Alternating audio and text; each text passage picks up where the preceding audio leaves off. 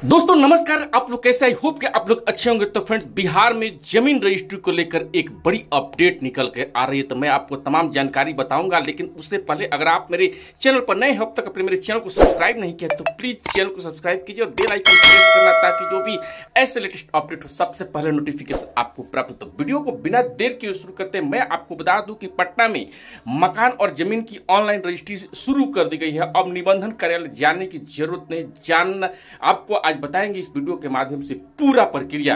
तो मैं बता दूँ कि बिहार लैंड रजिस्ट्री, बिहार में अब मकान और ज़मीन की ऑनलाइन रजिस्ट्री शुरू हो गई। इसकी शुरुआत पटना से की गई है। अब आपको ज़मीन, मकान और फ्लैट की रजिस्ट्री का आवेदन करने के लिए निबंधन कार्यालय में जाने की ज़रूरत नहीं पड़ेगी। मैं आपको बता दूँ कि बिहार में अब मकान और ज़मीन की ऑनलाइन रजिस्ट्री शुरू हो गई है। इसकी शुरुआत पटना में की गई है। ज़मीन और मकान की खरीद बिक्री के लिए सोमवार से पटना के फुलवारी और बाढ़ विक्रम मसौड़ी संपत्चक निबंधन कार्यालय में ऑनलाइन आवेदन लेने की शुरुआत कर दी गई है। मैं आपको बता दूँ कि इसके साथ ही जिला निबंधन कार्यालय और अरवल, सारण ज़िले के, सोनपुर, वैशाली ज़िले के, फतेहपुर, नवादा ज़िले के, रजौली मुजफ्फरपुर, कटरा, भोजपुर के पीरों में ऑनलाइन आवेदन लेने का काम भी शुरू हो गया है। बता दें कि पायलट प्रोजेक्ट के तहत निबंधन विभाग पहले चरण में फतुहा पटना सिटी बीटा दानापुर निबंधन कार्यालय में ट्रायल किया था। 40 दिन बाद दूसरे चरण में 11 निबंधन कार्यालयों को ऑनलाइन किया गया।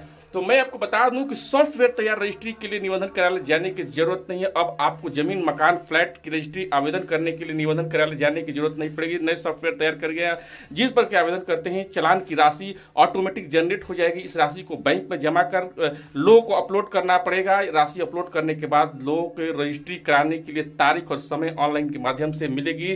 तय समय के अनुसार कार्यालय पहुँचने वाले खरीदार, विक्रेता का आधार कार्ड और अंगूठे का निशान मिलान कर फ़ोटो कराया जाएगा। इसके साथ ही खरीदार और विक्रेता को सहमति पत्र पर हस्ताक्षर करते हैं। ज़मीन, मकान, फ्लैट खरीद, बिक्री का काम जो है पूरा हो जाएगा। तो मैं आपको बता दूँ कि नए सॉफ्टवेयर पर मिल रही है सभी को बेसिक जानकारी। नए सॉफ्टवेयर पर ज़मीन का सर्किल दर निबंधन कार्यालय द्वारा दिए जाने वाले शुल्क स्टाम्प ड्यूटी ज़मीन की खरीद, बिक्री और रोक सहित सभी अन्य बेसिक जानकारी उपलब्ध। ज़मीन, मकान, फ्लैट, विक्रेता विक्रेता को बेसिक जानकारी के साथ दस्तावेज़ अपलोड करते ही सॉफ्टवेयर से मॉडल डीट बनकर तैयार हो जाएगा। अभी तक इन सभी कर्म, कर्मों के लिए निबंधन कार्यालय जाना पड़ता था। वहाँ जाने के बाद दस्तावेज़ तैयार कर लाइन में खड़ा रहना पड़ता था, लेकिन अब नहीं होना पड़ेगा। सरकार ने नई अपडेट को जो है अब पटना से लंच कर दिया। ये जानकारी आपको कैसा लगा? कमेंट करके ज़रूर बताइएगा। जय हिंद।